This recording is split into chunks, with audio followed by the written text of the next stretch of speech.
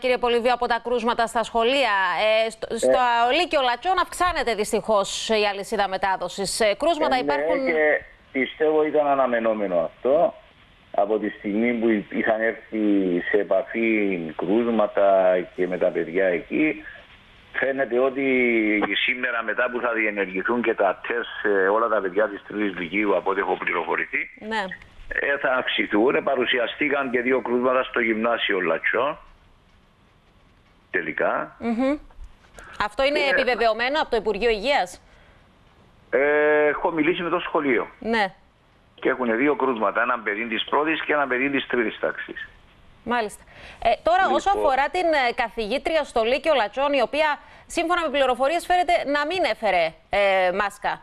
Τι γίνεται; Έχετε κάποια πληροφόρηση γιατί και πώς εγώ δεν δε δέχομαι αυτήν την κατηγορία. Αλλά έστω και αν σε κάποια στιγμή οι συναδέλφοι εφάρμοσαν αυτό που είπαν και με τα πρωτόκολλα ότι όταν είσαι σε απόσταση τριών μέτρων μπορείς να κατεβάσεις λίγο τη μάσκα μιλώντας για να ακούνε τα παιδιά το μάθημα.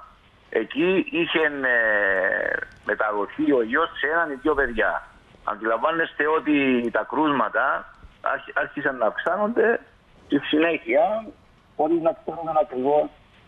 Άρα, εσάς η πληροφόρησή σας, κύριε Πολυβίου, είναι ότι φορούσε μάσκα η εκπαιδευτικός, φορούσε μάσκα καθηγήτρια.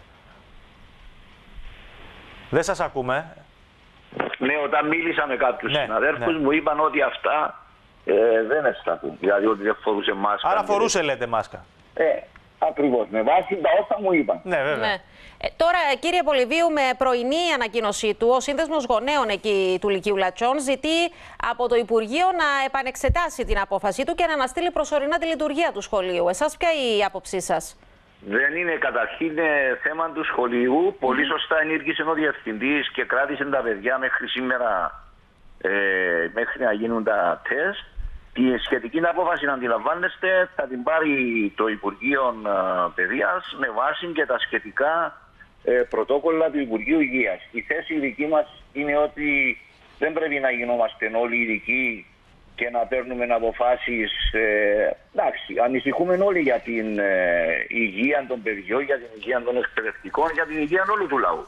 Ναι. Από εκεί και πέρα πιστεύω ότι πρέπει οι αποφάσεις να είναι μελετημένες και να παίρνονται από τους αρμοδίους και όχι από τον κάθε έναν από εμάς. Αντιλαμβανόμαστε τους φόβους του συνδέσμου γονέων, ε, να δούμε πώς θα εξελιχθούν τα πράγματα μετά και με τα σημερινά τεστ και αναλόγως είμαι σίγουρος ότι θα πράξουν οι αρμόδιες αρχές. Ναι, γνωρίζετε πόσοι μαθητές είναι σε αυτοπεριορισμό τώρα, στο περίπου να μας πείτε; Ε, το σχολείο είχε κρατήσει όλη την τρίτη τάξη λυκείου. Γενικότερα, όχι μόνο για το Λύκειο των Λατσών. Α, ε, κοιτάξτε, ε, την περασμένη εβδομάδα σε Παγκύπρια κλίμακα ήταν περίπου 5.000. Όπως είναι τα δεδομένα σήμερα όμως, που αυξάνονται συνέχεια σε όλες τις πόλεις, σε αυτή τη Λευκοσία, μιλώντας έτσι σε γενικές γραμμές με αρκετούς συναδέλφους ε, διευθυντές και πηγαίνοντας και σε κάποια σχολεία, διαπιστώνουμε ότι αρχίσαν να παρουσιάζονται ένα-δύο κρούσματα σε κάθε σχολείο.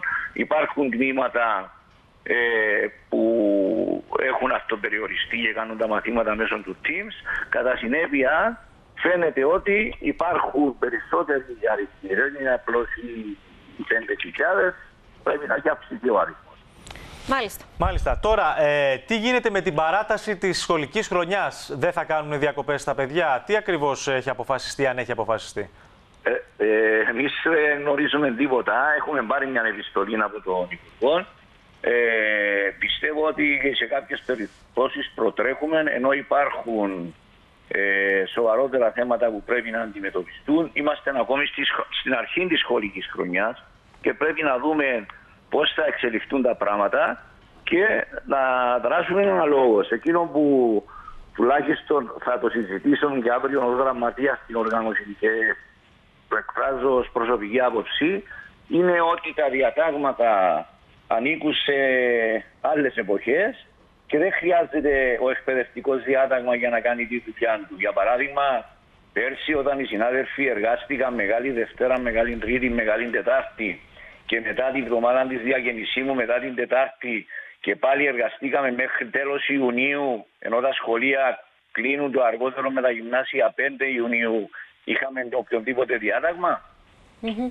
Πιστεύω ότι ε, η λύση, αν χρειαστεί, θα βρεθεί σε συνεργασία, χωρίς προβλήματα και χωρίς γρήγορες αποφάσεις. Επαναλαμβάνω, έχουμε πάρει χθες αργά το απόγευμα μια επιστολή από την πλευρά του Υπουργείου και αναμένουμε ότι θα μας καλέσει να συζητήσουμε και να δούμε τι θα γίνει. Άρα θα δώσετε την άποψή σας. Ε, σίγουρα, σίγουρα θα εκφράσουμε απόψεις, αλλά σας λέω αύριο θα απασχολήσει τη γραμματεία. Μάλιστα. Να σας ευχαριστήσουμε πολύ κύριε Πολυβίου. Και εγώ ευχαριστώ. Γεια σας. Λοιπόν, Γεια σας. καλή συνέχεια. Πάμε τώρα ξανά στη Λεμεσό. Εκεί μας περιμένει ο Λουκάς ο Σπαθάρης.